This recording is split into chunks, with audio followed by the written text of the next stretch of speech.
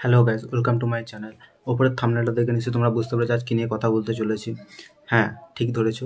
আজ আমরা দেখব বাংলাদেশের ভূতরা ঠিক কেমন হয়। তো চলো বাংলাদেশের ভূতদের রিভিল করা যাক। বেশি দেরি না করে চলো শুরু করা যাক। ভিডিও শুরুতে তিন যুবক মিলে এক গাঁড় পাকা ভূতকে ধরে ফেলেছে। আল্লাহ আকবর কি ভয়ানক চেহারা দেখেন। কি কি কি? আল্লাহ আকবর কি ভয়ানক চেহারা দেখেন। না একে কোন অ্যাঙ্গেল থেকে দেখে মনে হচ্ছে ভয়ানক? মনে হচ্ছে হাড়ের পেছনে লেগে থাকা হাড়ি কালি যেন মুখে মেখে নিয়েছে। খা না ও ভূতের মুখে পাউডার ছড়ে বলছে খা। মানে ভূতকে যাচ্ছে তবে অপমান করছে। এদিকে আসো হুসাইন এদিকে আসো। ও ও বলতে চাচ্ছে কি এদিকে এসো। ও বলতে চাইছে কোন পাগলা চোয়াদের পাল্লায় পড়লাম আমি।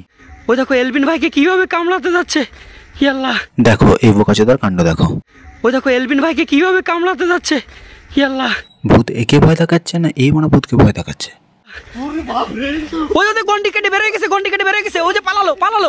মানুষের ভাই ভূতকে মানে প্রথম পালাতে দেখছি। আর মানে ভূতকে এত নির্যাতন করলে ভূত মানে কেনই বা পালাবে না? ধরো ধরো ধরো ওটাকে ধরো ধরো। ওটা গরু না ছাগল যে ধরো ধরো করছে আর ভূতকেও বলিহারি। মানে কেমন ভূত তুই? মানে মানুষের ভয় দৌড়াচ্ছিস। ওই যে ওইদিকে চলতেছে আকবার।